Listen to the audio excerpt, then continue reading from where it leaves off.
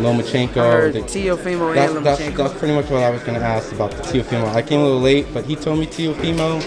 Is that, you know, the fight or.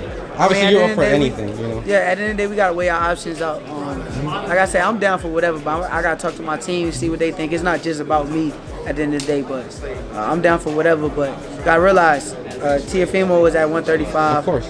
And I'm pretty sure uh, Lomachenko will be willing to come to 130 and fight me. So Of course. um, You got the belt. Just you know never what I know. mean? Just never know what'll happen at the end of the day. So uh, we just gonna weigh our options out. I feel like I'm ready for anybody. I feel like I'm one of the best fighters in the sport of boxing, and I feel like I'm the future. So I don't think, like me personally, I don't think nobody can beat me.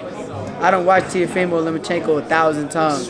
I don't think neither one of them could beat me. Okay, perfect.